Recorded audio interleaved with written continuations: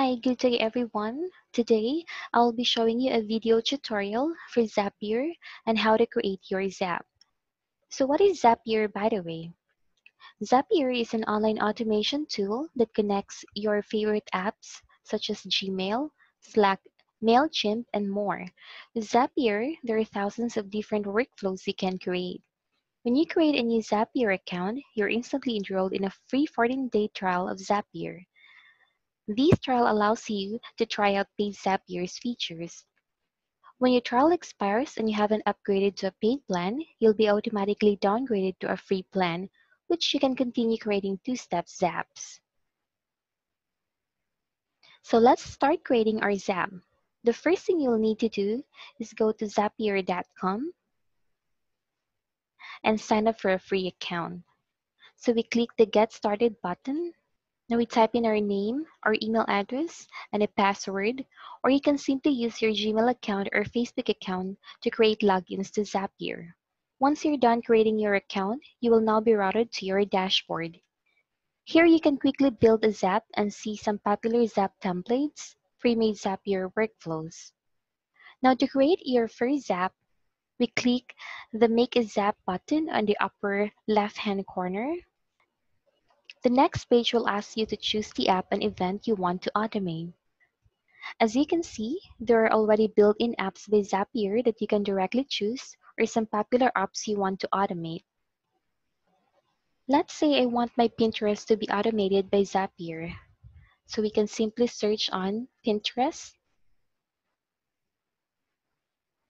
We click on it. So here, Zapier will monitor my Pinterest and my Pinterest will trigger a Zap when a new board is added. So we click on continue. Next, we will need to connect my Pinterest account to Zapier. So we click on sign into Pinterest. Once we're done giving permission to Zapier, we will now select continue. Then we can pull a sample by simply selecting test trigger Here we can see the data that Pinterest is sending to Zapier. It looks good to me, so click continue and add our second steps.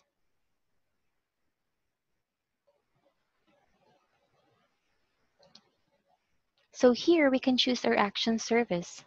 Let's say we want to get notified on our Google Drive. So let's search Google Drive. We click in Google Drive. And let's say I want Zapier to automatically create folder, create a new empty folder once a new Pinterest board is made. Then after that, I hit continue. Then I'll sign in to Google Drive to give my permission to Zapier to access my Google Drive. Once we're done giving permissions, let's click continue. So to start customizing our folder, we need to select the drive to use. So we click on my Google Drive now we're going to create parent folder. I have already created a folder from my Google Drive for my Pinterest.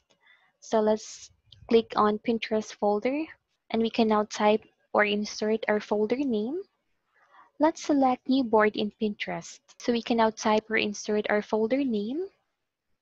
Let's choose my Canva works. Let's click on this. And then after that, we select continue. Then we click on Test and Review to check if it's working.